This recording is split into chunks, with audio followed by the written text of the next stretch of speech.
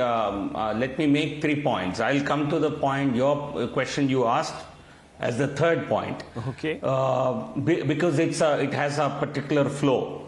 Point number one, the, what is money laundering? Because uh, Mr. Manish Sisodia is being charged under PMLA Act.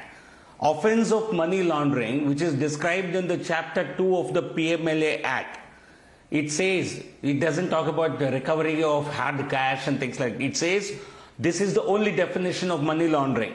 Whosoever directly or indirectly attempts to indulge or knowingly assists or knowingly is a party or is actually involved in any process or activity connected with the proceeds of crime and projecting it as untainted property shall be guilty of office of offense of money laundering. So they have already talked about 100 crores having been paid through the Hawala route. I'm sure ED uh, will substantiate its own findings. And if that is established, I think uh, you don't need to recover hard currency from the bed of Manish Sisodia or from his uh, uh, drawing room.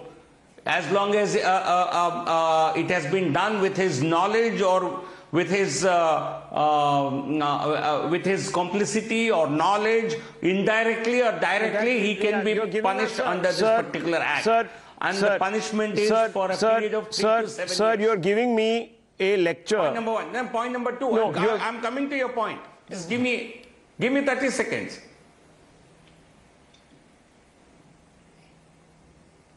Okay, go ahead, sir. Hello. Yeah, go ahead. I'm listening to you. Rahul, just 30 seconds, I'll take. Second, why are so many cases? Uh, the second question was um, uh, asked, why is ED and CBI, why are the most cases against the opposition leaders? We have been in government for nearly nine years now.